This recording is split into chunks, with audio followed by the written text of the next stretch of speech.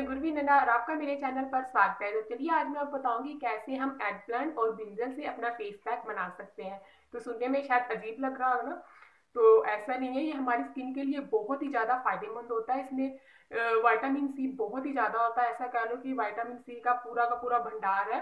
तो आपको पता ही होगा कि वाइटामिन सी हमारे स्किन के लिए कितना ज़्यादा इफ़ेक्टिव होता है, जो कि हमारी स्किन को ग्लोइंग और फेयर बनाता है। और आपको शायद ये चीज़ पता है या नहीं कि कोरियन ब्यूटी सीक्रेट में इसके कॉस्मेटिक प्रोडक्ट भी अवेलेबल हैं। जैसे कि face mask face scrub face pack यहाँ तक कि इसका फेस वॉश तक भी अवेलेबल है। तो क्यों ना हम इन कॉस्मेटिक प्रोडक्ट को छोड़कर अपने घर में ही अपनी होममेड मतलब जो ब्रिंजर का फेस पैक तैयार करें, जिसमें किसी भी तरह का कोई साइड इफ़ेक्ट ना हो और हमारे स्किन के लिए बहुत ही ज़्यादा इफ़ेक्टिव हो। तो अगर आपने मेरे चैनल को अभी तक सब्सक्राइब नहीं किया तो प्लीज़ सब्सक्राइब कर लीजिएगा और इस फेस को पैक को बनाना कैसे है तो चलिए स्टार्ट करते हैं। तो फ्रेंड्स उसके लिए हमें चाहिए फ्रेश एग प्लांट ठीक है? तो अभी आपने क्या करना है, इसका स्मूथ सा पेस्ट बनाना है।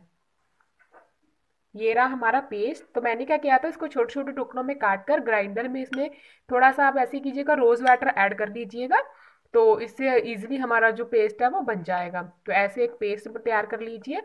और उसके लिए लेंगे हम एक खाली बाउल और उसमें एक चम्मच पेस्ट डाल देते हैं। और उसके बाद हम इसमें डालेंगे बेसन। बेसन भी होता है जो हमारी स्किन को इंस्टेंट ग्लो देता है, हमारी स्किन के ऊपर जो सन टैन उसको रिमूव करता है और हमारी स्किन को ब्राइट एंड ग्लोइंग बनाता है।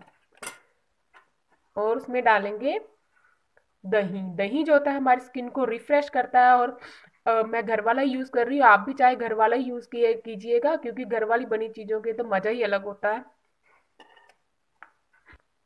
दही जो होता है हमारी स्किन के ऊपर, जो सन टैन होती है और हमारे जो डार्क स्पॉट्स होते हैं पिगमेंटेशन होती है, उनको लाइट करता है और हमारी स्किन को ब्राइट बनाता है।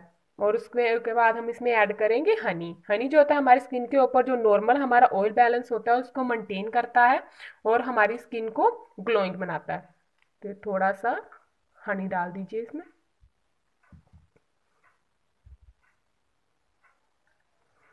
और इन सभी चीज़ों को अच्छे से मिक्स कर लीजिए।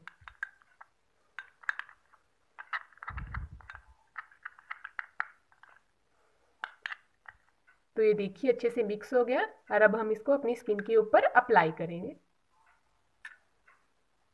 हमारा फेस पैक तो अच्छे से इसको अपनी स्किन के ऊपर अप्लाई कर लीजिए। आप चाहे तो ब्रश का यूज़ भी कर सकते हैं, लेकिन मैं अपनी फिंगर से ही अपने फेस के ऊपर अप्लाई करूँगी।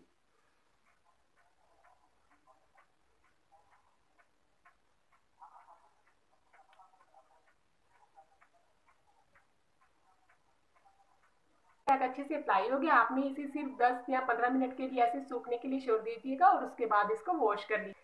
तो देखिए फ्रेंड्स, मैंने अपना फेस वॉश अच्छे से कर लिया तो आप इस फेस पैक को ज़रूर यूज़ कीजिएगा, क्योंकि इससे क्या होता है, जो हमारी स्किन की, जो डलनेस है, जो स्किन ड्राई है, या फेस के ऊपर जो हमारे एजिंग साइंस है, जैसे कि रिंकल्स फाइन लाइन्स और डार्क स्पॉट है, वो धीरे धीरे रिड्यूस होते जाएँगे और आपकी स्किन एकदम से फेयर और ग्लोइंग बन जाएगी।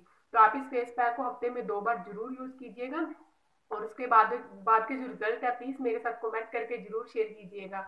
तो मिलते हैं नेक्स्ट वीडियो में. Bye bye friends